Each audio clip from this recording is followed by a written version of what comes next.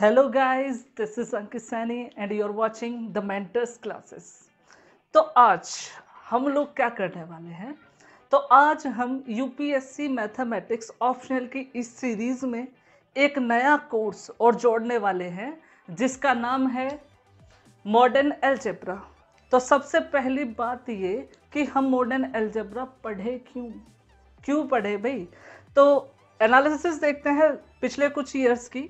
तो UPSC mathematics optional paper में paper number two में काउंट होता है मॉडर्न एल्जेब्रा और अगर प्रीवियस ईयर के क्वेश्चन वेटेज देखें तो 2019 में इस टॉपिक से आए थे चार क्वेश्चन फॉर 40 मार्क्स चारों मिलाकर 40 मार्क्स 2018 में इससे आए थे फोर क्वेश्चन फॉर 45 मार्क्स 2017 में आए थे इससे थ्री क्वेश्चंस फॉर 45 मार्क्स और 2016 में इससे आए थे four question for 60 marks and 2015 में इससे आए थे फोर क्वेश्चन फॉर 50 मार्क्स और 2014 में इससे आए थे चार क्वेश्चन फॉर 55 मार्क्स 2013 में आए थे इससे six question for 73 marks and 2012 में इससे आए थे फोर क्वेश्चंस फॉर 62 मार्क्स तो इस एनालिसिस को देख के तो आपको पता चल गया होगा कि यूपीएससी मैथमेटिक्स ऑप्शन में पेपर नंबर टू जो कुल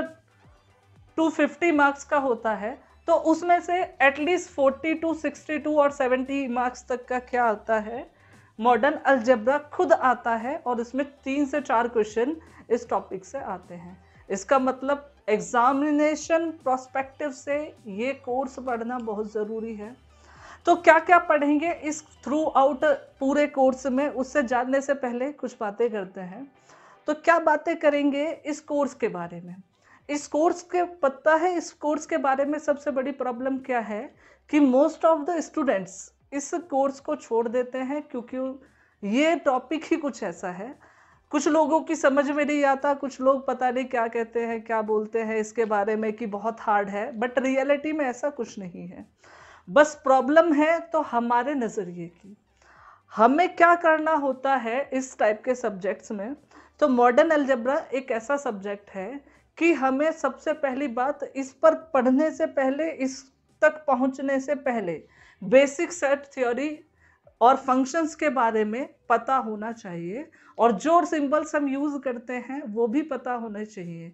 तो सिंबल्स के बारे में तो हम आगे दो तीन क्लासेस पढ़ेंगे, उनमें देखेंगे। बट बेसिक्स जो हैं सेट थ्योरी और फ़ंक्शंस के बारे में, वो हमें पहले से पता होना चाहिए, तभी हम इस सब्जेक्ट को पढ़ सकते हैं। दूसरी बात क्या? कि इस सब्जेक्ट को पढ़ते टाइम हमें क्या करना है? एक ऐसी आदत बिल्डअप करनी है जिसके अंदर हम एक तो डेली पढ़ें। रेगुलर बेसिस पे हमें इसे पढ़ना होगा, तभी हमें चीज़ें मेमोराइज हो सकती हैं और हमें पता चलेगा कि हमें करना क्या है। दूसरी बात, हमें सिर्फ़ वही चीज़ें पढ़ने की कोशिश करनी है जो मैं आपको बताऊँगा, ठीक है? और क्योंकि ये सब्जेक्ट जो है खुद बहुत बड़ा है तो हम सिर्फ़ एग्जामिनेशन पॉइंट ऑफ़ व्यू से पढ़ने की कोशिश करेंगे। सिर्फ़ वही चीज़ें डिस्कस करेंगे जो इम्पोर्टेंट हैं और जो आ सकती है एग्जामिनेशन में, ठीक है? वैसे भी मोस्ट ऑफ़ द कोर्सेज हम यही करेंगे कि सारे टॉपिक्स कवर किए जाएँ, ठीक है? दूसरी चीज़ क्या? कि अब तक जो चीज़ आप लोगों ने पढ़ी है फ़ंक्शंस के बारे में सेट्स के बारे में, उन्हें सिर्फ़ उस तरीके से हमें सोचना है जो मैं बताऊँगा। मैं आप लोगों को सोचने का तरीका भी बताऊँगा और किस तरीके से करना है वो भी बताऊँगा।